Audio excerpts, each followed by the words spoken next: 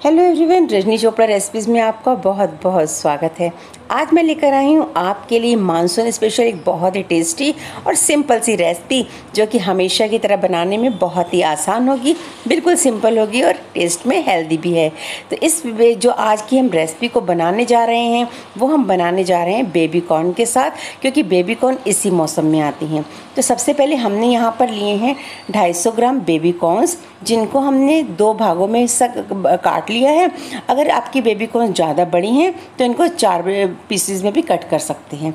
इसके बाद करते हैं हम आगे की तैयारी। बेबी को कट करने के बाद हमने साइड में रखा है और इसके बाद हम मैंने यहाँ पर लिया है एक शिमला मिर्च और दो प्याज। शिमला मिर्च को हमने अच्छी तरह से वॉश कर लिया है। वॉश करने के बाद इसको सुखा लिया है और इसके बाद इसके अंदर के बीज को निकाल देंगे और इसके लंबे टुकड़ों में कट कर लेंगे। इसी तरह से हमने प्याज को भी छील कर इस तरह से लंबे लंबे स्लाइसिस में कट कर लेना है। पहले प्याज के हमने दो पार्ट करने हैं और इस तरह से थोड़े से बड़े बड़े और पतले पतले हमने इसके स्लाइसिस को कट करना है। इसके साथ ही मैं यहाँ पर ले रही हूँ कुछ कलियाँ लहसन की, जो कि हमने छीलने के बाद बिल्कुल बारीक बारीक चॉप कर ली हैं। एक बड़ा टमाटर लिया है, जिसके बीज को निकालने के बाद उसको भी लंबे लंबे स्लाइसेस में कट कर लिया है। अब हमने करना क्या है कि जो हमने बेबी कॉर्नस को कट करके रखा था इन बेबी कॉर्नस को हमने बॉईल करना है। बहुत ज़्यादा बॉईल नहीं करना, सिर्फ़ एक बॉईल आने देना है। गैस पर एक पैन रखा है पैन में पानी डाला है और इसमें डाला है एक छोटा चम्मच नमक का। साथ ही जैसे ही पानी में उबाल आया, हमने इन बेबी कॉर्नस को इसके अंदर डाल दिया। बिल्कुल एक बॉयल आने देंगे और गैस की फ्लेम को बंद कर देंगे। बहुत ज़्यादा हमने इसको पकाना नहीं है। गैस की फ्लेम को बंद करते ही हमने इसको पानी से बाहर निकाल लेना है ताकि ये एक्स्ट्रा कुक ना हो जाए। सिर्फ़ हमने इनको हल्का सा इसे ब्लांच करते हैं। ठीक वैसे ही करना है। बस इतना इतना करने के बाद हमने इसको एक स्ट्रेनर में डालना है और इसको ड्राई करने के लिए रख देना है। अब हम लेंगे एक मिक्सी का जार और इसमें डालेंगे यहाँ पर मैंने चार काश्मीरी मिर्च और चार जो तीखी वाली मिर्च होती हैं, उनको रात, एक घंटे के लिए पानी में भिगो के रख दिया था। उसके बाद हमने इन भीगी हुई मिर्चियों को मिक्सी के जार में डालना है, साथ में डालना है एक टमाटर और इसका एक पेस्ट तैयार कर लेना है। इस पेस्ट को हम यूज़ करेंगे आगे इन्हीं कॉर्नस को बनाने में। यहाँ पर स्वीट कॉर्न जो है ठंडी भी हो चुकी है और थोड़ी सी ड्राई भी हो गई हैं। अब इसमें डालेंगे थोड़ा सा नमक, लगभग मैंने वन फोर टी स्पून इसमें नमक डाला है, क्योंकि नमक हमने बॉईल करते हुए भी डाला था तो इसलिए हमने नमक ज़्यादा नहीं डालना। जो हमने रेड पेस्ट बना के रखा था, दो चम्मच हम इसमें रेड पेस्ट की डाल देंगे और इसको आपस में मिक्स कर देंगे। अब इसमें डालेंगे तीन बड़े चम्मच कॉर्नफ्लोर के और तीन चम्मच ही हम इसमें डालेंगे मैदा के। और इन दोनों को अब कॉर्न के साथ अच्छी तरह से मिक्स कर देंगे। थोड़ा सा पानी डाल देंगे ताकि मिक्स करने में इजी रहे। हमने इसमें बहुत ज़्यादा मसाले यूज़ नहीं करने, बिल्कुल सिंपल तरीके से बना रहे हैं तो बिल्कुल सिंपल चीज़ें ही हम घर की यूज़ करेंगे।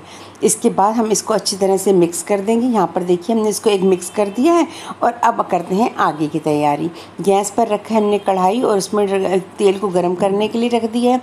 जैसे ही तेल गर्म हो गया है, तेल को हमने हाई गर्म करना है और उसके बाद गैस की फ्लेम को मीडियम कर देंगे और इसके बाद इन सभी कॉर्नस को हमने फ्राई कर लेना है। ये देख, जितनी हमने सिंपल तरीके से बनाई है ना, खाने में उतनी ही टेस्टी बनती है। सिंपल है, बहुत ही मज़ेदार बनती हैं।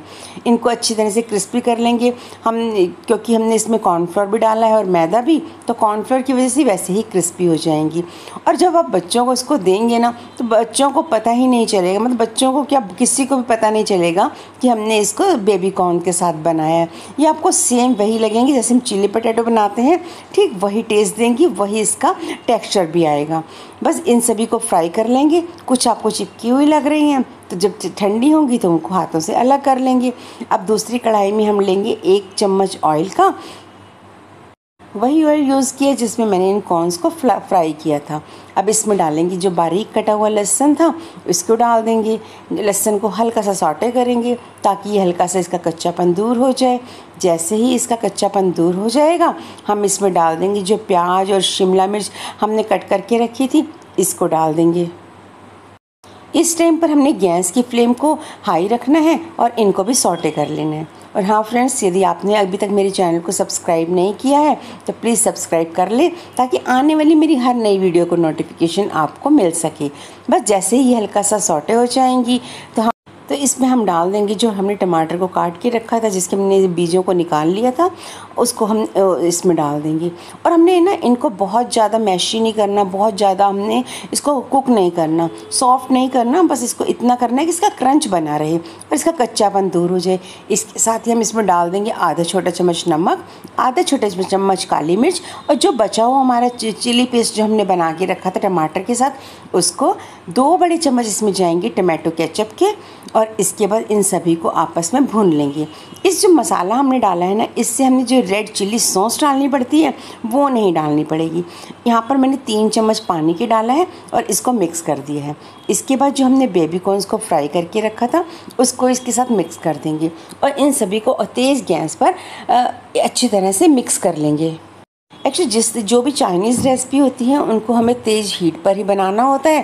तो गैस की फ्लेम को तेज़ ही रखेंगे और इन सभी को आपस में मिक्स कर लेंगे। ऊपर से डालेंगे हम खूब सारा हरा धनिया। लो जी, बन गई हमारी बहुत ही मज़ेदार सी टेस्टी सी चाइनीज़ बेबी कॉर्न तो आपको मेरी आज की ये रेसिपी कैसी लगी? मुझे कमेंट में ज़रूर बताएँ। यदि आपको मेरी रेसिपीज़ पसंद आती हैं, मेरी वीडियोस अच्छी लगती हैं, इन्हें लाइक ज़रूर करें। और यदि आप मेरे चैनल पर नए हों तो सब्सक्राइब किए बिना बिल्कुल ना जाएँ। तो मिलते हैं इसी तरह की और भी बहुत सारे टेस्टी मज़ेदार सी रेसिपी के साथ। तब तक के लिए बाय बाय